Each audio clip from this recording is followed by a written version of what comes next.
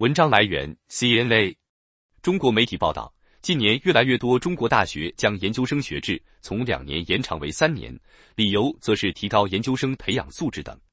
但外界则将这一变化与青年人失业率上升产生联想，认为这是因应就业压力的权宜之计。综合澎湃新闻、中国青年报、光明网等媒体报道。近几年来，中国已有多所大学将少则一个、多则全部的硕士班学制，从原来的两年或两年半延长为三年；也有学校将博士班学制从三年延长为四年。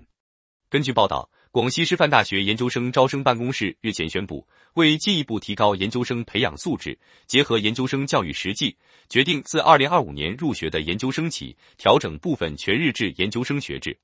其中。化学与药学学院的化学博士研究生学制由三年延为四年；教育学部的教育管理、现代教育技术、心理健康教育学前教育学位硕士研究生学制由两年延为三年；文学院、外语学院、历史文化与旅游学院的学科教学、语文、英语、历史硕士研究生学制均从两年延为三年。此外，沈阳理工大学及西安外国语大学也分别在七月上旬及中旬宣布，将部分学科的硕士研究生学制从原有的两年或两年半延为三年。其中，沈阳理工大学的理由是硕士研究生培养需要。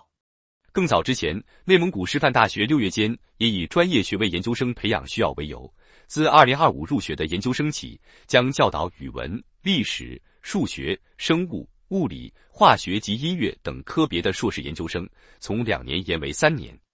中国青年报报道，有专家对此调整称，研究生培养不同于其他学历教育，重在专、精、深，考核方式也不同于其他学历教育，对品质要求更高。适度延长修业年限，对完成研究生培养的要求提供了很大空间，有助于优化强化培养过程，实现培养目标要求。光明网发布的评论文章也称，将硕士研究生学制从两年延为三年，有利于强化授课教学，提高研究生培养品质。透过分散课程设置，学生在校期间也有更多业余时间参与实践，找到理论实习与实务兴趣的结合点。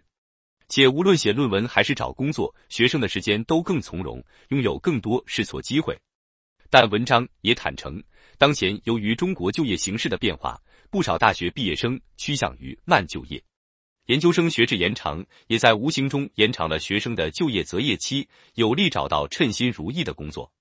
但学制延长不该是一刀切，更不应该成为应对社会就业压力的权宜之计，应允许一部分有能力、有意愿的学生提前毕业。